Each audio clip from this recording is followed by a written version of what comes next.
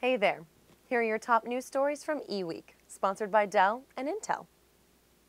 T-Mobile recently unveiled new initiatives to give customers the ability to make mobile calls using Wi-Fi networks almost anywhere around the world.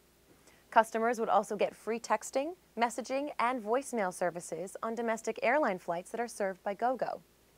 CEO and President John Legere stated that his company wants to let customers extend their mobile range and call quality by taking advantage of Wi-Fi hotspots and technologies. Furthermore, T-Mobile will provide free routers made by ASUS to customers to bring this service into homes, which will also help solve common dead spot cellular reception problems. A report first posted to a Russian Bitcoin forum site stated that information on nearly 5 million Google account holders was breached this week. However, in a blog post September 10th, Google claimed that less than 2% of the username password credentials in the Russian breach list were actually valid.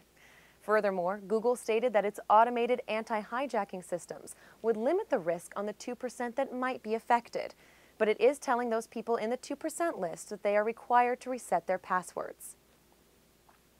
Dell revealed its latest mobility and bring your own device offering for enterprise mobility management. It includes enhancements to its mobile workspace, a cloud system that provides secure access to enterprise phone, email, and storage services from an employee's personal Android or iOS smartphone or tablet. Mobile Workspace is also designed to streamline mobile enablement with the availability of Dell Business Phone, powered by Vonage Business Solutions, which will provide email integration with Microsoft Office 365 and access to Box for Dell to support enterprise content collaboration.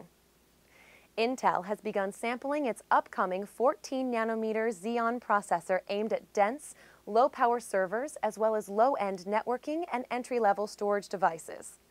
At the Intel Developer Forum 2014, Diane Bryant, Senior Vice President and General Manager of Intel's Data Center Group, explained that the Xeon system on a chip, based on the company's Broadwell architecture, is the third generation of Intel's low-power silicon, aimed at systems that run in massive, highly dense hyperscale data centers.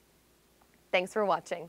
Follow the links on this page to learn more about the stories mentioned in this broadcast, and check back every weekday for another daily tech briefing from eweek.com.